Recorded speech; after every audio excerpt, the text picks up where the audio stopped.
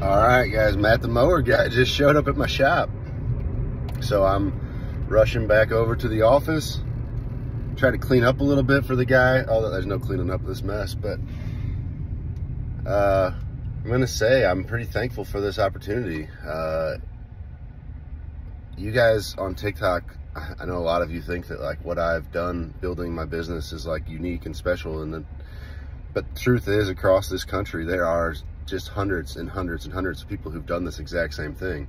And so to get somebody like a Matt who specializes and is an expert in his field to come to our facility and show us and teach us about these robotic lawnmowers, which I do believe is the future, um, whether it's happening right now or over the next 10, 20 years, it's happening.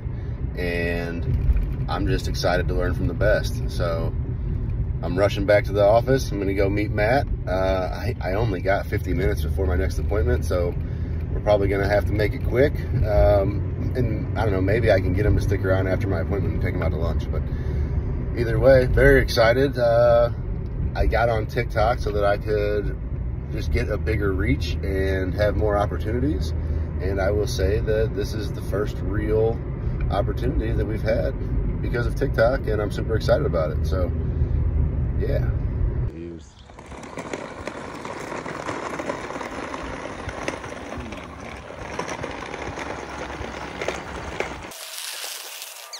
Want to do it over there with all the greenery in the background? Yeah, that's probably a good idea. Yeah, I learned to start paying attention to a lot of things.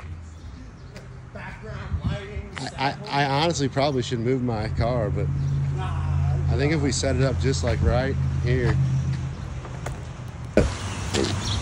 But I mean, I think what I want to do is ask you the hard questions. You know, let's get some. Of, let's get some of the hard questions on camera. Let's go. My big question is, how do I implement it? How do I make it so? Like, where where do I start